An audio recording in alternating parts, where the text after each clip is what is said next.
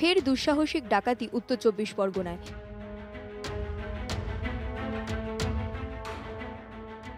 ভাটপাড়া পুরসভার তিরিশ নম্বর ওয়ার্ডের শ্যামনগর নতুন গ্রাম এলাকায় একটি বাড়িতে দুঃসাহসিক চুরির ঘটনাকে কেন্দ্র করে চাঞ্চল্য ছড়িয়ে পড়ে। পুলিশ সূত্রে খবর, বাড়িতে কেউ না থাকার সুযোগেই এই চুরির ঘটনা ঘটিয়েছে দুষ্কৃতীরা।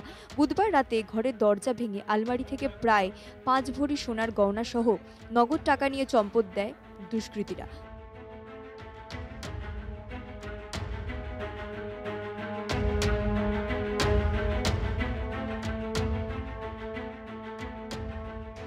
পূর্ব পরিকল্পিত এবং পরিচিত কেউ এই চুরির ঘটনায় যুক্ত বলে সন্দেহ তাদের।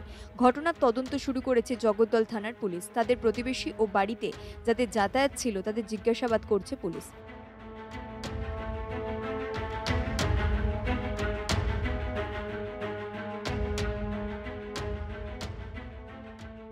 তবে এই ডাকাতির ঘটনা নতুন নয়। এর আগেও ভাটপাড়ায় একাধিক দুষ্কৃতিমূলক কাজকর্ম ঘটেছে, তাই নিরাপত্তাহীনতায় ভুগছেন এলাকাবাসী। ভাটপাড়া থেকে দীপক দেবনাথের রিপোর্ট আজ তাক বাংলা।